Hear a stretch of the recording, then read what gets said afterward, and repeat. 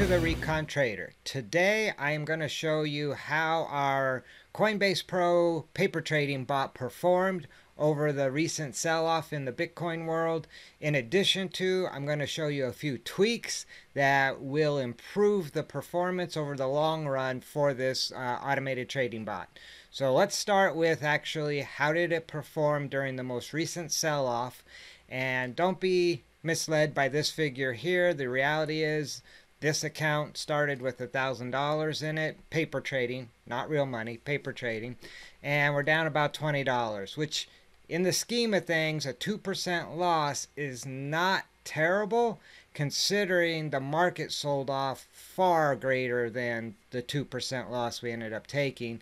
And we owe that all to our stop loss. You got it. You got to have stop losses if you're going to be trading. Let's take a look at all the trade history that happened over the last few days. Again, overall, it was pretty much a red market. We're finally seeing a bounce back today, but you can see these losses. We kept them for the most part under 1%. We had a couple go over, but for the most part, they were all under 1%. My stop loss was currently set at 0.49%. And the reason these numbers are higher is you don't always get stopped out the minute the order goes in. So that is why we might see higher numbers, or you might actually see higher numbers when you place a stop order and it exceeds the number you had. It may not stop out right at your number. It may go higher. Sometimes it'll go lower. It'll pull back after your order goes in. And as we continue down through the page, very few winners, yet there were some winners during the bloodbath, but most of all, it was red. We were in the red. It was absolute carnage. Everything was getting slaughtered, but we kept that to a minimum. We kept our losses to a minimum. And that is the key to successful trading. And we even had a decent win here on EOS, a big 8 percenter, which again helps uh, mitigate some of those losses. But overall, during this time frame, you know, from the 12th through pretty much like the 17th, for about a five day period, it was just pretty much a down market. And we can see that. But by keeping our losses small, we weathered the storm.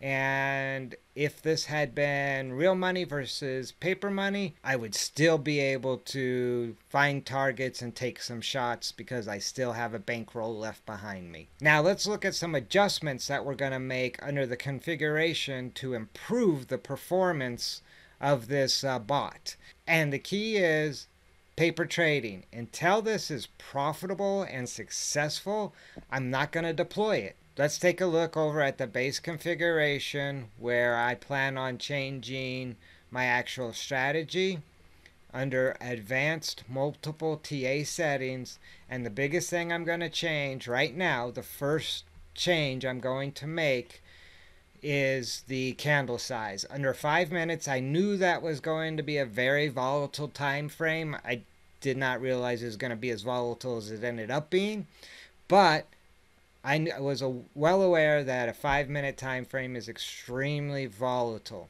So I'm going to change this to the four hour time frame, which is basically going from one extreme to the other, but there's a reason for that. I'm going to cut out a lot of the volatility. We're in a very volatile market at the moment.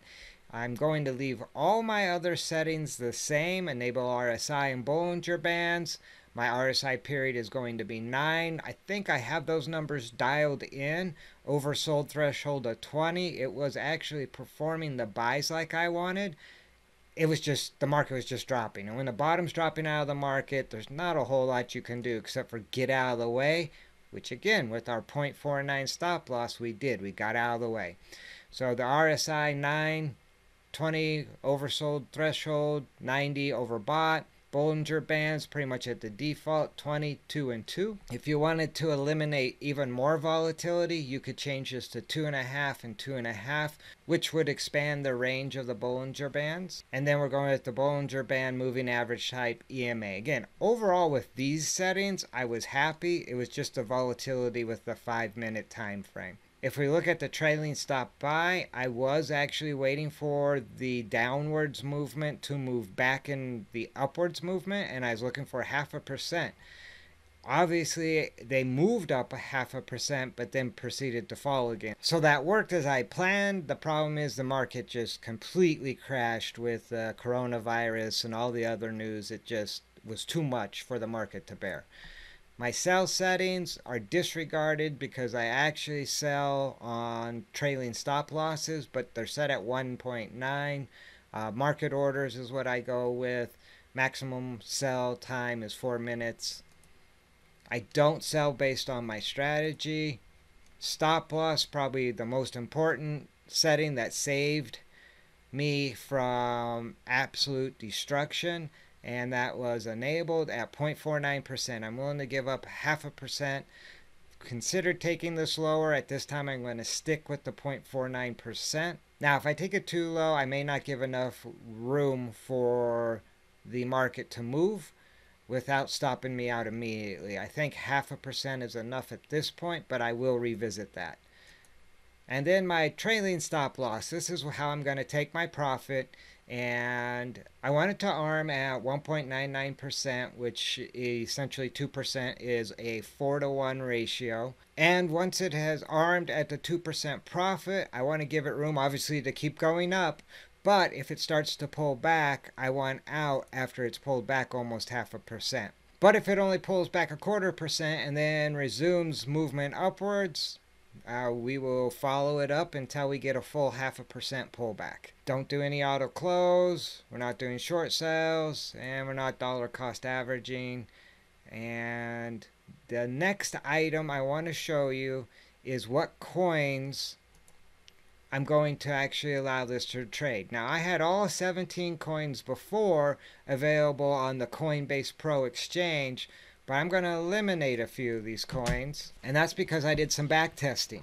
And I will show you the back testing here in a moment, but I want to show you, I did some back testing on some of the coins, and at the four hour level, some performed well and some performed poorly. I'm only going to include the ones that performed well or might have been marginal and we'll take a shot on them.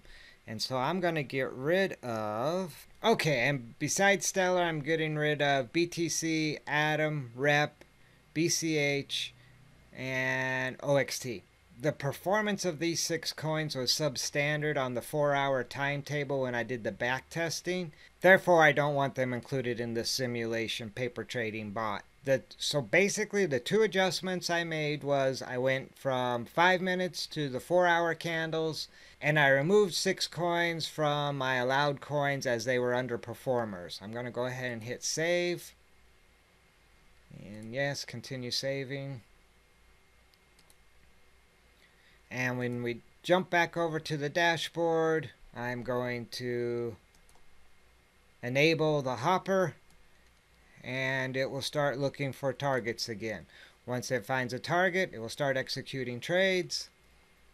And just so you have an idea of what kind of backtesting I did, I jump over here to the backtesting tab that CryptoHopper offers. And we'll take a look at like EOS, for example, and we'll load my existing configuration as it is now, which is four hour time frame.